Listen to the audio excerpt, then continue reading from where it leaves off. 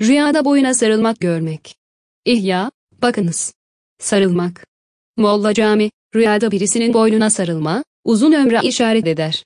Bir kimse rüyada bir ölünün boynuna sarılsa ve ısrar ederek, ondan ayrılmazsa, o kimse ölür. Rüyada tanıdığı birisiyle kucaklaşsa, o kimse o insana çok oturup kalkar. Rüyada düşmanıyla kucaklaştığını gören kimse, düşmanıyla barışır ve düşmanlıkları ortadan kalkar. Bazı tabiciler rüyada kucaklaşmak, güzel konuşmaya ve güzel cevap vermeye işaret eder, dediler.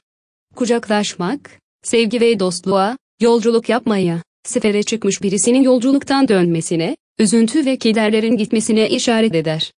Kucaklaşmak, nikaha ve iyi geçinmeye işaret eder. Rüyada bir kadınla kucaklaştığını gören kimse, ahiretten ümidini keserek dünyayı kucaklamasına işaret eder. Çünkü kadın, dünya ve dünyalık ile tabir edilir.